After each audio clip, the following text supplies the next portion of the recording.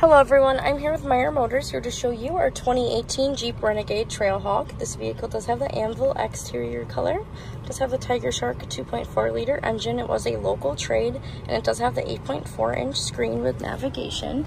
You do have your heated steering wheel, heated front seats.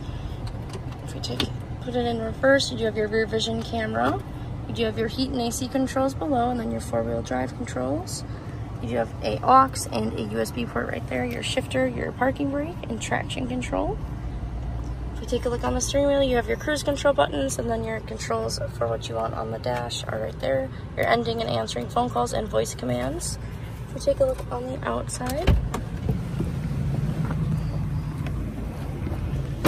this is what the outside looks like. You do have the black wheels.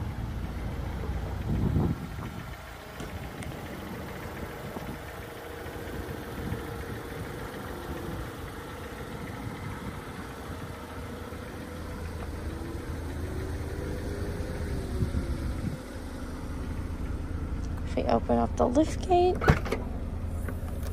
this is what the storage looks like back here. Also, the second row does fold down flat. This is what the back seats look like. You do have a USB port back here, and you do have a outlet. If we fold the seat down, both of them fold down. So this will fold down, and so does the other one. But that's kind of how much room you have back here also.